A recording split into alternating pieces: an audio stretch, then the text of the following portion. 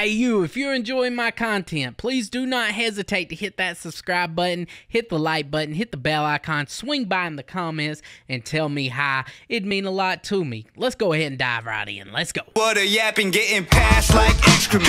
Dashing for the presidents. Dead ones better than hashing for the presidents. Rapping for the heck of it. games just aren't that fun anymore, guys. I'm gonna be honest.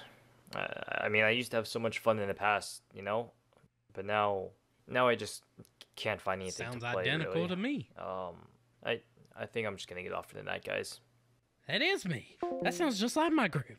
If you're on the gaming side of social media, you've probably heard people, or even yourself, say stuff like this before. People complaining about how there's nothing to play anymore, how much fun they used to have when they were kids, or even that So they're just this video came out in 2021, I believe, and 2022. Nothing has damn changed. Everything is still like, still the same.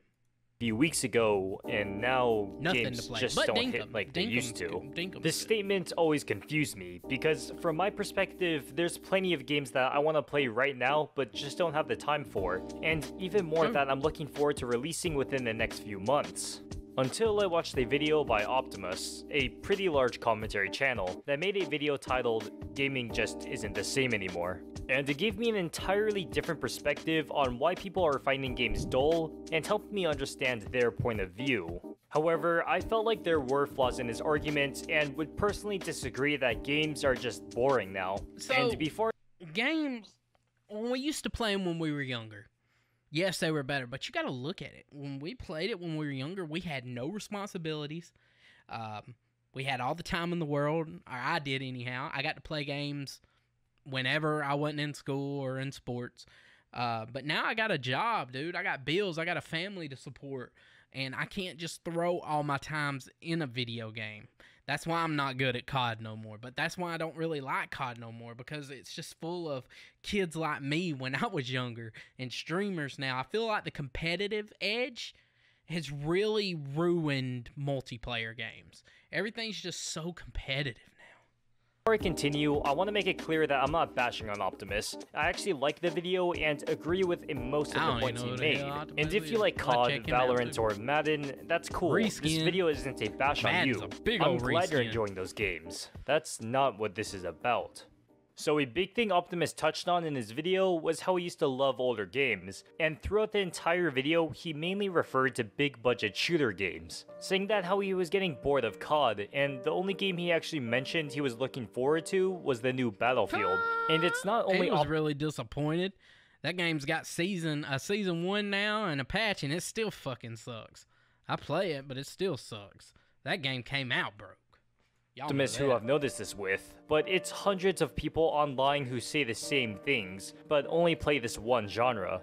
And maybe it's not even the genre you're tired of, but games feeling Hell, there's no unfinished, single-player DLC games taking that really priority, the toxic my eye. environment of competitive, or Hey. think the quality of these big budget titles have good Call of simply game, lowered. in my. So many people are tunnel visioned into only playing these Till big Warzone budget AAA out. games put out by these huge companies. And not only AAA games, but oftentimes the shooters within these AAA games. And it's no wonder why people are starting to feel jaded. thing. These AAA companies, they don't give two shits about you, the player.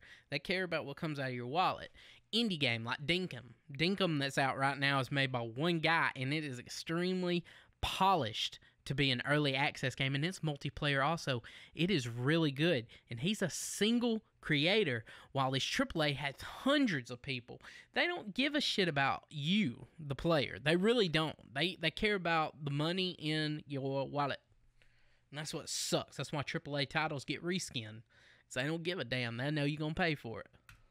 Other than a few, most of these games play out exactly the same. You go around, pew pew, shoot the enemy, Pew, one wins, one loses. And yeah, I know I'm boiling this lot. down to the most basic rendition of an explanation, but when every game someone plays revolves around this premise, it's gonna get stale. Especially when the game itself Valorant doesn't skill, evolve. bro.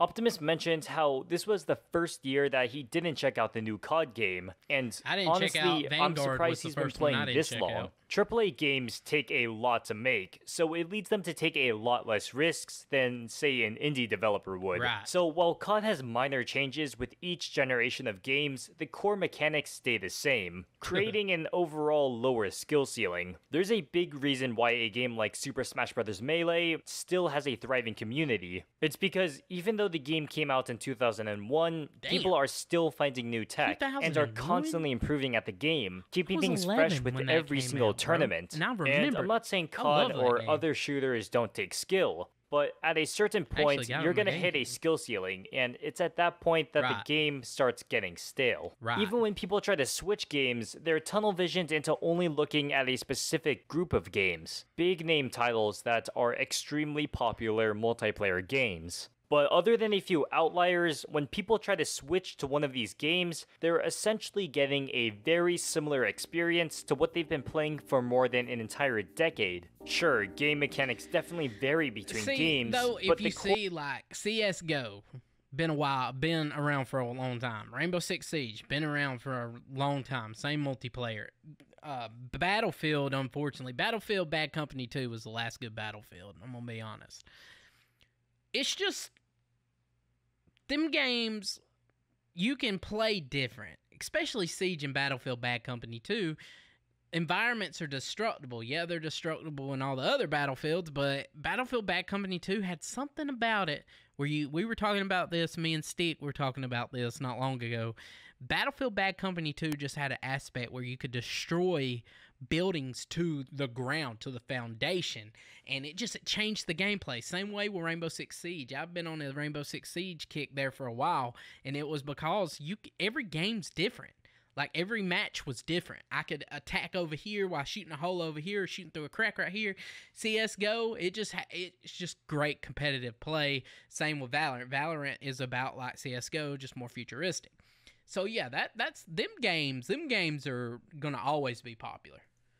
Core of the game stays consistent, making the overall feel feel very similar. And couple this with the fact that we've been in quarantine for the past one and a half years, where man's really just been playing games. Shit, like when I was a kid, I was only allowed to play on weekends.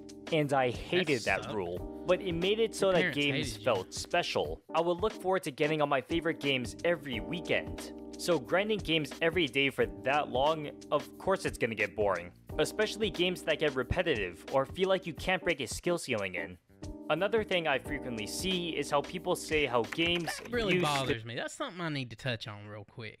These parents who tell their kids like you can't play games during the week, you can't um, drink cokes, only water, all that. Why? Why? Why are you implementing them on your kid? That on your kids? Uh, Your kids are gonna grow up and be pieces of shit anyways. So let them do what they want as a kid. Jesus. to That's be so much on my mind. better. I don't know. I don't have Optimus kids, even so stated I- himself how much fun he used They to have with older games like Zelda Wind Waker, Mario Sunshine, and. Pokemon. But what confuses The me newest is how Pokemon's these same game. game franchises are still being put out. And personally, I say that they're even better than before. I don't know if it's because people have the pre-notioned idea that Nintendo only makes kids games, Wrong, but once again, I'm seeing the same trend of people not venturing outside of their mainstream games. I mean, just based off the games Optimus mentioned, Breath of the Wild is the best open world I've ever played. Agree, Breath of the Wild 2 is on its way out. Mario Breath of the Wild's Odyssey is on the same Odyssey, level, if not even shit. better than Mario game. Sunshine. Bowser's Fury is Never played it. I relatively recent, and while Pokemon's been shaky, the trailers for the New new, games Pokemon, eh? have got me Pokemon, cautiously whatever excited for my A. favorite franchise again. Which leads me to the main point of this know how to video, it, or sort of my extremely simple solution to people who say games are boring and are getting stale. Instead of trying to gain enjoyment out of the same shooters and sports games that get recycled every year, just look at things outside the mainstream bubble. Right. It doesn't matter if you have a certain console or a PC. There's plenty What of I games like on do, everything. Personally, you just is when I start getting tired of multiplayer in the competitive aspect, I like to play single player games, man. Kick back, relax. Just there's some good single player games out though right now. As far as July 2022, there are actually some decent just have to games. look. And if money is an issue, then don't worry. You aren't forced into only playing free to play games. $10, $15, $20, $15, $25. Bro, Not to mention all the You literally. What the hell they doing next door? Jesus. You really just said if you ain't got money, you got ten dollars, fifteen dollars. If you ain't got money to buy games, free to play is all you're gonna play. There ain't nothing wrong with that either. I've been there. But dude, really? Other games go on sale really often too. You aren't forced into only playing free-to-play games. If you've been If stuck PC, playing the Epic same types away of two games, games over and You didn't know over, there's probably so much you've missed. Hollow so much good. good stuff out there. But don't just pick up a single-player game, not enjoy it, and then claim you don't like single-player games at all. Oftentimes, you just haven't found the game that hits home with you. I mean, it's not like I like every single game I play, even Boy, if it's man, that's highly a- acclaimed. that's a good-ass and if you're just really not into single player that. Games and you really tried but just think they're boring and only like multiplayer action and PvP. That's like I Spellbreak, promise there's games Yep. out there that are extremely well made that I'm It's still playing way, right though, now, now. that feels so different from what we're I mean, used it's to. fun. I mean, I Spellbreak, played Bed it, Wars, and Smash are some of my favorites right now. Spellbreak Trust me, there's got- a a plethora grind of games fest, out dude. there. Like I mentioned Spell, earlier, I'm not saying that these mainstream games are all bad. That's not this video. And if you still enjoy them, then don't let me stop you. In fact, I'm glad you enjoy them. You're better off than most people out there. I used to love these mainstream FPS games when I was younger, but at some points things just got boring. I've been at the point where I was losing interest in games, and all I've really been playing at the time was Overwatch for months on end. Sometimes me and my friends would hop on Destiny or COD, but halfway through we just stopped playing and just talked because at that point just the games Destiny, had gotten but you did the same crap over and over and over and over. I ain't gonna say what I probably just look like saying that, but Destiny, I can I I can only play that for a little while. That that game's too grindy. so repetitive that we got on to talk and not the games. And other than the occasional Pokemon game, it wasn't until I started to play other genres of games outside of shooters that I really started to take an interest in so much more that's out there, introducing me to an entirely new world of art. Called single player games. Okay. What a yapping, getting passed like excrement. Dashing for the presidents. Dead ones better than hashing for the presidents. Rapping for the